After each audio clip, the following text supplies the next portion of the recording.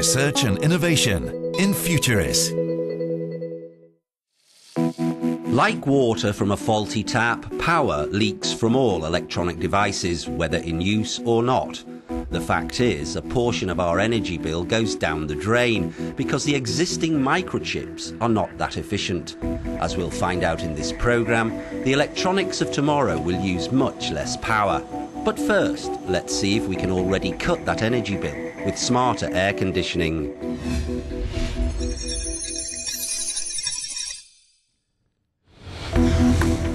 In the Centre for Sustainable Building in Kassel, the internal climate is controlled by an energy saving computer algorithm. The system analyses weather patterns to determine when to turn the air conditioning on or off. It also saves energy by relying on natural ventilation and solar power whenever possible. Suppose that uh, we have this building and there is high wind, so we know that certain rooms will be cooled quicker because there is more losses uh, to the outside.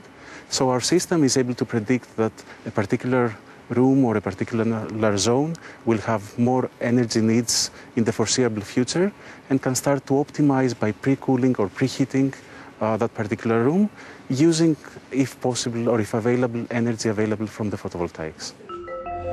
The system deals with each room individually using sensors that measure temperature, humidity, CO2 levels, and the number of people present. It also reads work schedules so it knows which rooms will be occupied and when. Based on that, it guarantees comfort with minimal energy cost. This smart algorithm has been developed within a European funded project bringing together researchers from five countries. What we do in this building is simulating the building under different hundreds of different possibilities based on the forecast of tomorrow, the temperature radiation. And with that, we create a strategy for the building that will save energy and will give more comfort to the users. The simulation software runs on a cloud network, leaving the local operations to simple devices. What we have is a small computer like this one that is able to manage all the complete building, so receiving a signal from the cloud and send it to the building, for example, a blind going down. Users can interact with the system through a web interface on their wireless tablets or smartphones if they need to control something manually or just check sensor indications at any time.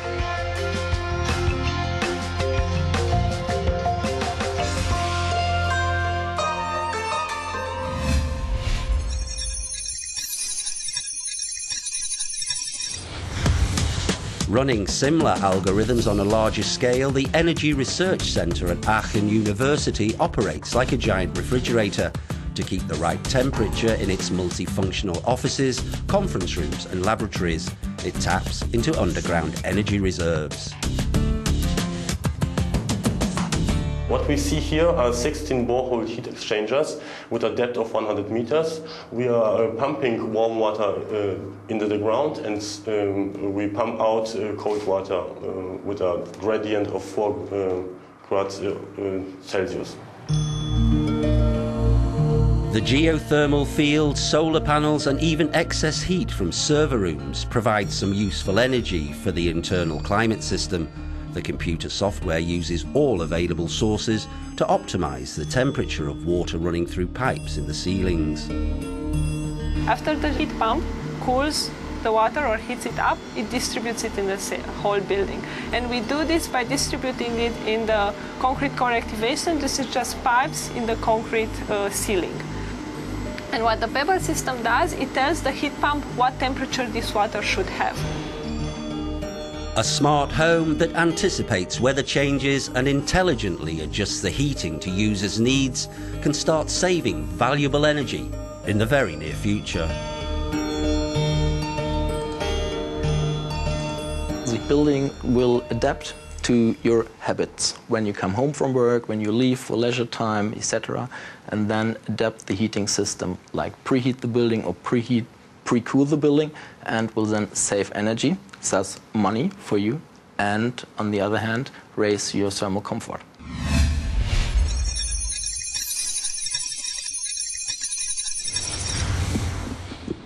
Another European project tackles so called energy vampires. All electronic devices from mobile phones to supercomputers leak power, even in the sleep mode. In Europe alone, the loss of standby power amounts to the whole electricity consumption of Austria, the Czech Republic, and Portugal combined. One of the issues we have is that the transistors today, and transistor that's the building block of all electronic circuits, uh, and they're leaky devices. That means that even when they're not functioning, when they're not actually performing a function, uh, they're still leaking power. So a lot of power is actually lost without being used for anything. And we are working on a new type of transistors called tunnel FET that can hopefully remedy this problem. So that means they're losing, they're leaking less power uh, when they're not being used. The power is simply less. Uh, that means that they consume less power and we can reduce the power of electronic circuits made by these devices compared to conventional devices. A transistor works like a water tap enabling the flow of current. Theory predicts that next generation tunnel effect transistors will require much less voltage for maximum efficiency. The challenge for the scientists today is to successfully combine silicon, silicon germanium and semiconducting nanowires. Put the silicon wafer inside uh, this reactor back there and then we grow nanowires on this uh, silicon wafer and uh, using this structure, the combination of these two materials, we can then make a new type of transistor which allows for low power operation while still maintaining the same speed as uh, modern transistors. The goal is to reduce the power consumption of computer chips by 90% and virtually to zero in the standby mode.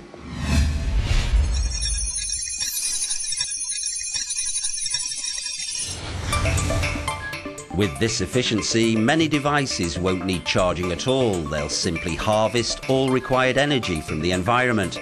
Thin and flexible self-powered devices can revolutionize fields like healthcare, security or communications. An interesting outcome of this is that combining ultra-low power electronics with flexible substrate technology um, and with energy harvester that can be integrated together could result in this type of autonomous system, enabling completely new type of application in smart object of everyday life, like a wearable system, like a, object in, in our environment that can include a lot of function and functionalities that we can use in order to have a better life and have a better interaction with our environment. So far, as the research continues, it's still hard to tell when the next generation of transistors will be ready for industrial scale production. Some scientists estimate it will take another 15 to 20 years to plug the energy leaks.